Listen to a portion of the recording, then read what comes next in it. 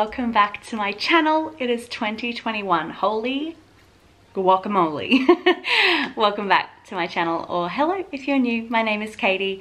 I'm being a little bit quiet today because my kitties are just napping while I get this filmed. Um, and this is the first video that I've filmed in a very long time um, but the first of 2021 and I'm really excited to be back. I just wanted to say a big thank you if you have come back or if you are new and you're staying. I have a very exciting announcement today in this video that I have been wanting to try and do for a very long time but I have decided to to encompass it within this channel. Because around about four months ago, I watched the documentary by David Attenborough and it was like Saving Our Planet or something like that. I can't remember the exact name, but it has hit, hit home for me. And normally I'm the kind of person that will hear some facts, know some info, and I'll be like, that really sucks but I can't do anything about it because I'm one person.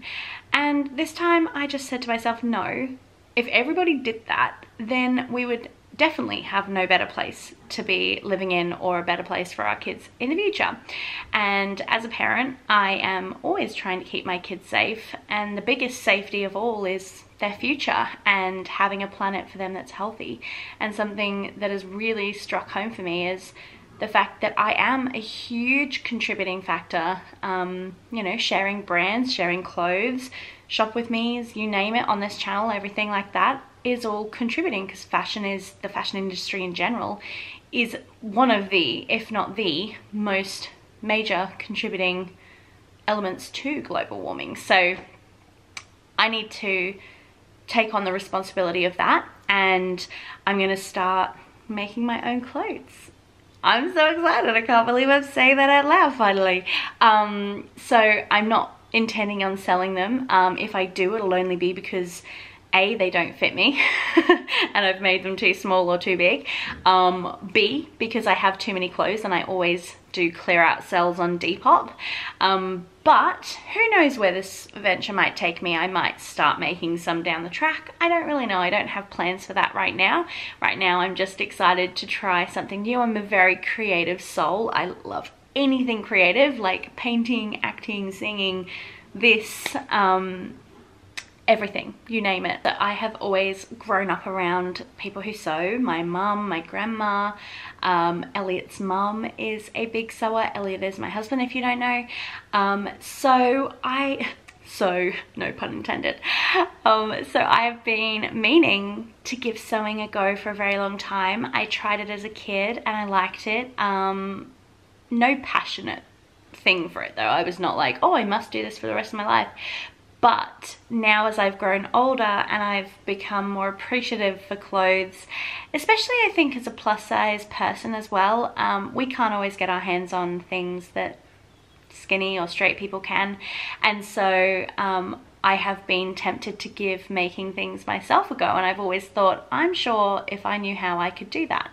So that is the intention behind this. A couple of resources or people that have inspired me to do this in 2021 I will link down below in case you want to check them out. Um, but one of two people, the first one is Katie Parrott on Instagram. She is a fellow blogger friend and I've been following her for quite some time. She is a avid sewer herself, I think self-taught, um, but she's also a blogger of plus size fashion and body inspo uh, body positive inspo I should say.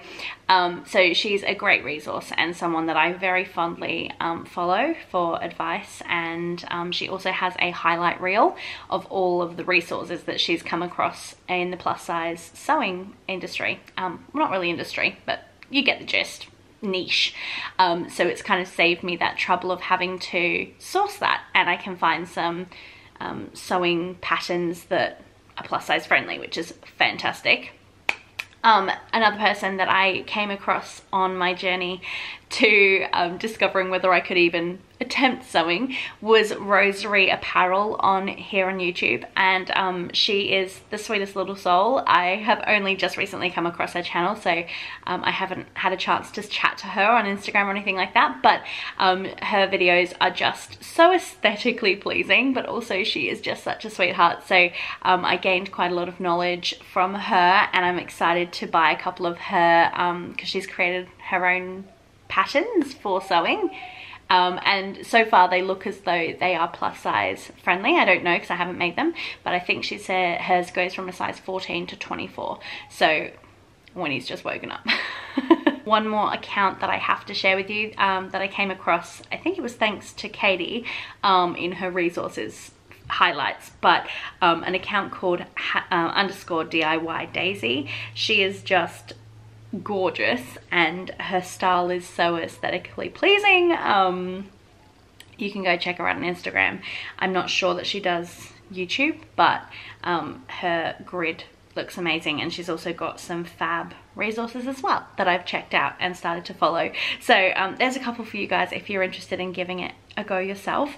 But if you're not interested in sewing whatsoever I totally don't mind um, this is just your warning pre ahead of time that there will be um, my new sewing like playlist or themed videos across the year. It's not going to be all the time. I'm still going to do my regular content, but I did just want to say that there are going to be some new videos um, about me making my own dresses and my own fashion to try and help be more sustainable um, and ethical in a way um, so that I can make my little contribution to the planet as well as everything else that I'm already doing. If any of you are sewers, hobby or whatever it might be, expert or just beginning, I would absolutely love to hear from you in the comments. Any tips that you might have, any um, groups or resources or anything like that, particularly to do with plus size because obviously I'm going to have to use plus size um, measurements or patterns.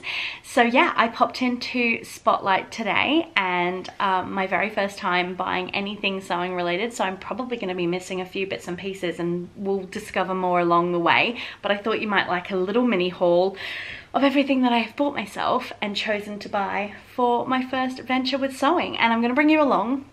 I'm going to do my haul today and then I thought we could try out sewing for the very first time together and I'm literally going to sew for the very first time with you and there's probably going to be bumps, probably some scratches, some needles may go places that we don't want but I hope you'll be here to stay along for that journey and I'm really excited to share this with you. My heart is singing. I'm literally so happy to be encompassing this within my channel and I hope that you guys are just as excited um, and it's totally fun if you're not.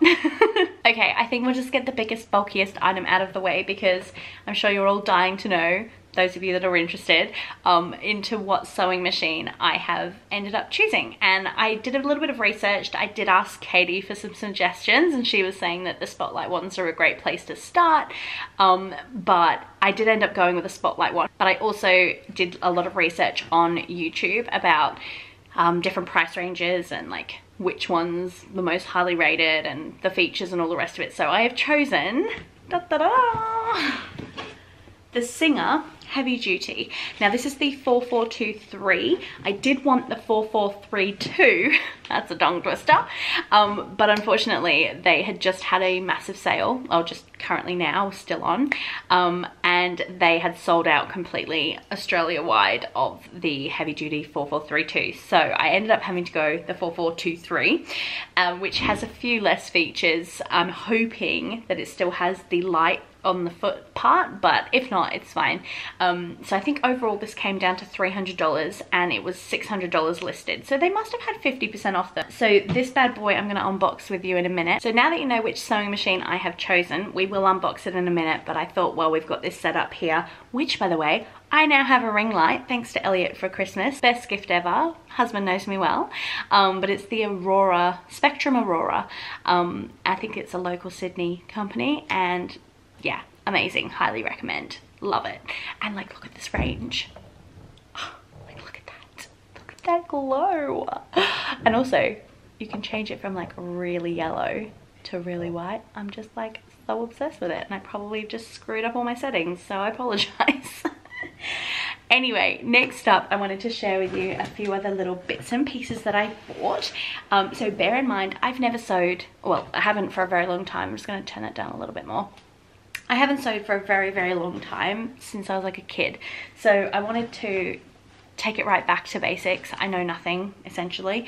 And I decided to buy a couple of scrap pieces of material. So they have a box or a carton or whatever you want to call it, a crate, full of their cut-offs that they no longer want and they highly discount them. So this was down to $2 and it was a meter long. So I'm hoping that I can get some um, boxer shorts made for Elliot out of these ones just to give a bit of a practice run. The lady was saying pants, um, if I wanted to make pants, boxes are a great place. Oh, it's a bit thin, isn't it?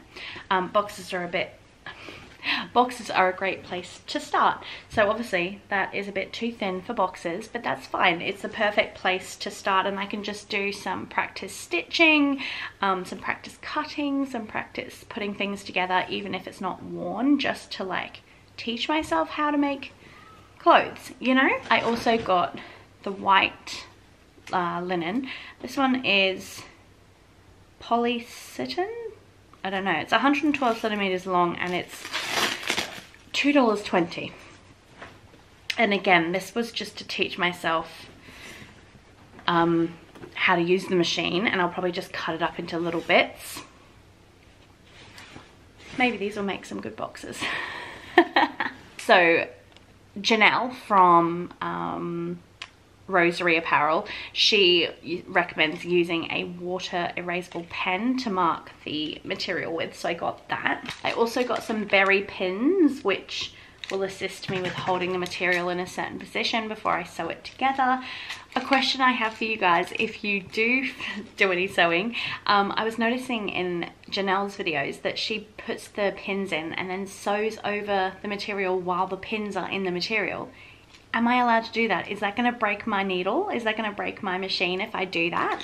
Or does it just skim past the needle? I don't know. I was fascinated with it and I couldn't work it out. So if you know the answer, please let me know in the comments. Um, I got some thread, obviously, and I didn't think to buy the thread after picking the material. So I've only got a certain limited number of colors, but I can always go back and get more.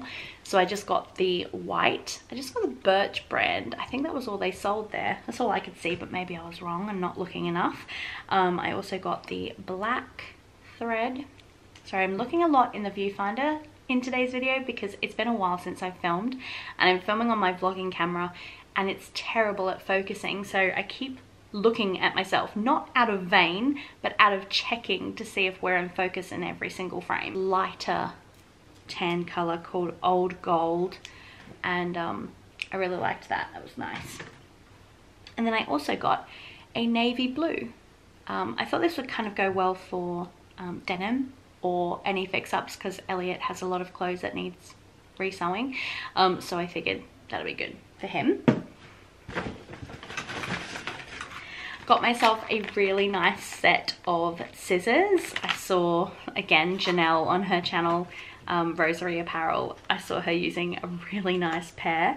And my dad actually is, um, well, I don't know if you'd say trained or if he just is a, but he's an upholsterer um, by trade and he no longer does it. He works elsewhere, but um, for many, many, many years, he was an upholsterer and had his own business. And I remember he had a massive pair of these.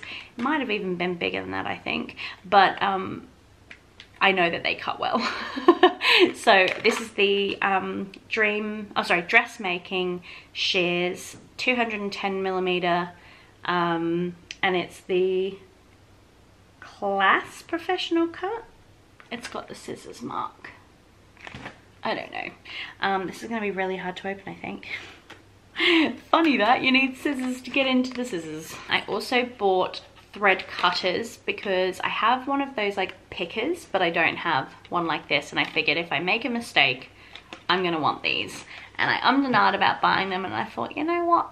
I'm going to regret that decision if I don't get them. There's a few more things that I couldn't find there that I need to buy. One of which is a hangy thing for my threads. I would love to sit my threads all in a row and up.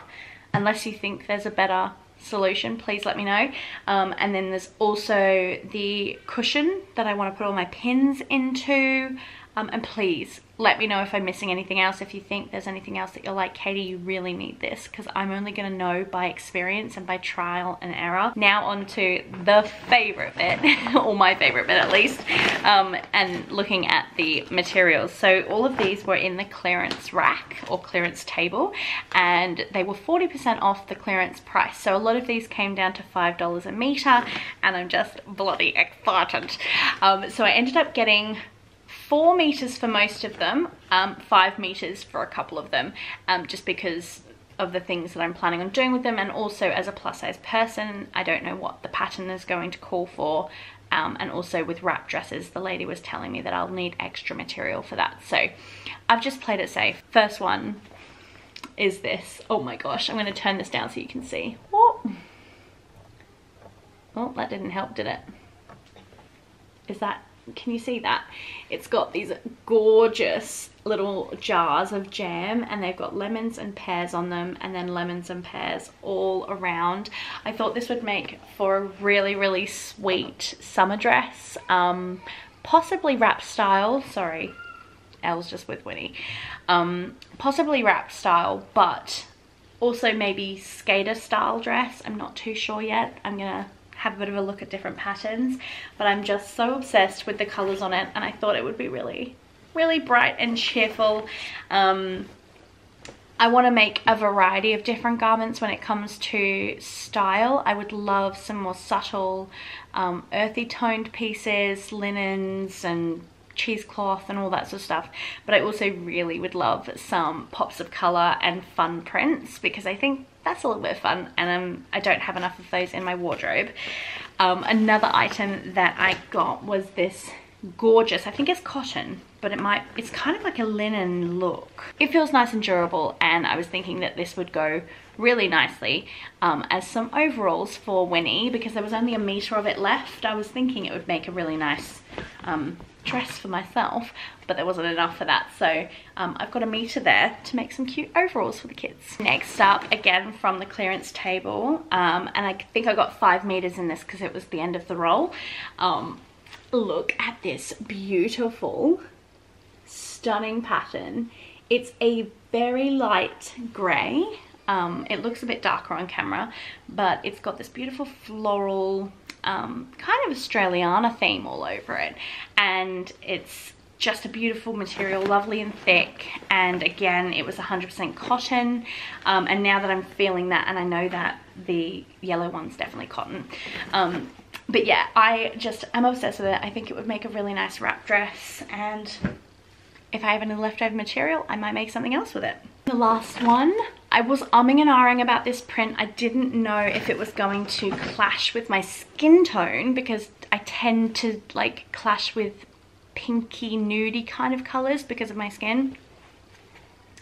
But I'm excited to give it a go and I think it's going to work out. If not, I can put it up for sale, but I think it just, I'm, I'm obsessed with it. It's gorgeous. I'll bring it up close for you to have a look. So again, I think I got five meters of that or four meters. It was the end of the roll, so I can't quite remember. I think it was like 4.2 or something.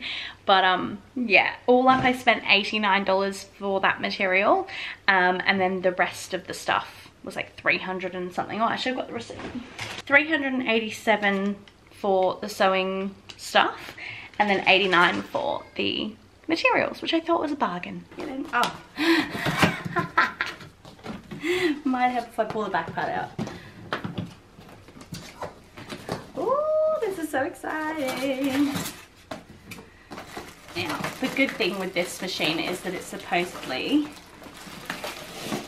um, portable. I'm going to stand up to lift this out because I can just tell it's going to be heavy.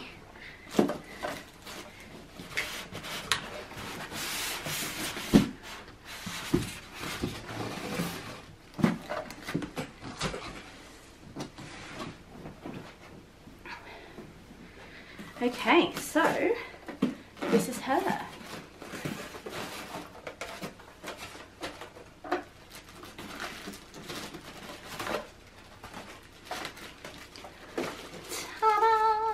There you are. Okie dokie, this is my very first singer. I'm so excited. So in here we have the foot pedal. It smells amazing, I'm not gonna lie. Oh look, it's got all the details. Oh, this is so exciting. So this is the desk that I'm going to be putting my sewing machine on. I actually picked this up from a curbside pickup. Someone around my neighborhood had put all of this Ikea furniture out on their front lawn and I swear to goodness it looked brand new. And I pulled over quickly and I was like um are these really free? Because I had a free sign in front of it. She was like yeah um, my friend's moving back to China. And I was like oh my goodness this is amazing. So I ended up picking this up for free on curbside. Has a little drawer here which I'm going to keep all of these bits in. And then I'm going to keep the sewing machine on it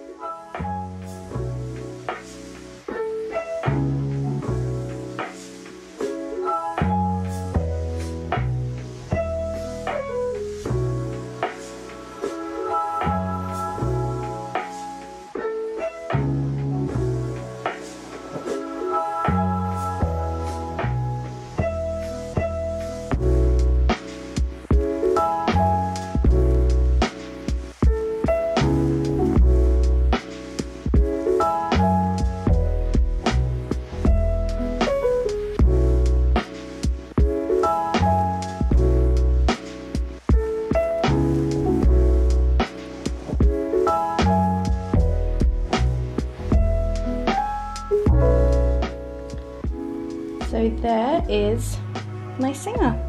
I am so excited to use that. I'm probably just going to pull my chair over and use the same chair as my other desk. I may even turn the other desk into the sewing area depending on how much fabric I need and what works easiest for me. But so far I'm loving this little setup over this side. Thank you so much guys for tuning in today to come along on this new adventure with me. Um, I hope that you will join me on more sewing episodes, videos, whatever we want to call them. Um, obviously next time will be my actual sewing for the first time so you will actually see machine work and me getting my hands dirty but um, today was obviously just compiling all the things that I think I will need and I've probably missed a ton of stuff so like I said earlier in the video if you can remember anything or think of anything that I'm gonna need please let me know in the comments I would really appreciate that um, and also any resources that you might have when it comes to kits or patterns or whatever so yeah that's it from me in today's video. I hope you enjoyed it. If you did, please give it a like and subscribe and I'll see you in my next one. Bye guys.